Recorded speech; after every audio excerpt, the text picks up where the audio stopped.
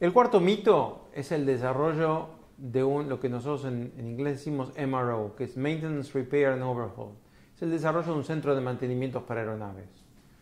Lo encontramos en muchos aeropuertos, eh, tanto fijadores de política como em, eh, gerentes de aeropuertos sueñan con hacer un desarrollo de un centro de mantenimiento de su aeropuerto y no se preguntan si existen las condiciones de mercado para el desarrollo del mantenimiento de aeropuerto. ¿Qué es lo que tenemos que tener? Primero y principal, ¿existe la mano de obra calificada?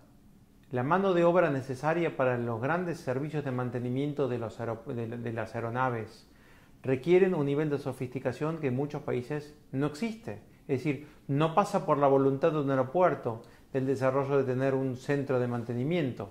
¿Acaso tenemos la obra, mano de obra calificada?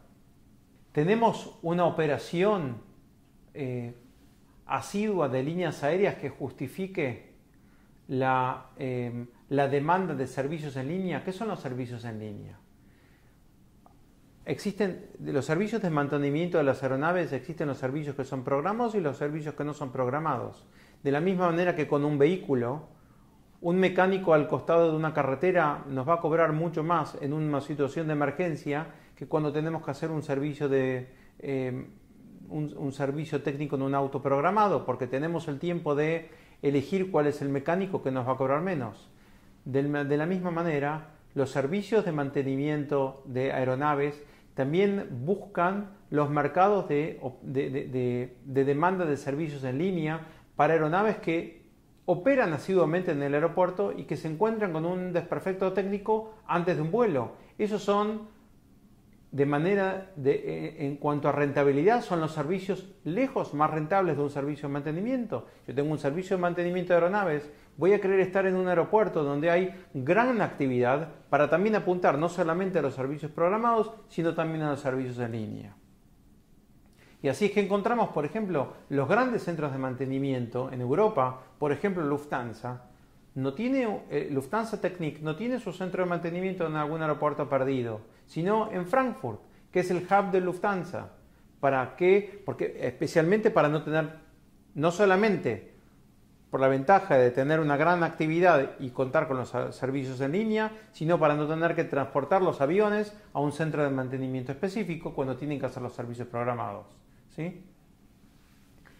Existen ciertos servicios programados que son, se hacen cada tantos años, que es el servicio C y el D, donde sí eventualmente puedes justificar para una línea aérea trasladar una aeronave, como en el caso acá de Sudáfrica, donde United, por ejemplo, que no vuela a Johannesburgo en Sudáfrica, traslada sus, aeronaves porque eh, puede eventualmente obtener ahí grandes economías en un, eh, servicio de mantenimiento de, gran envergadura.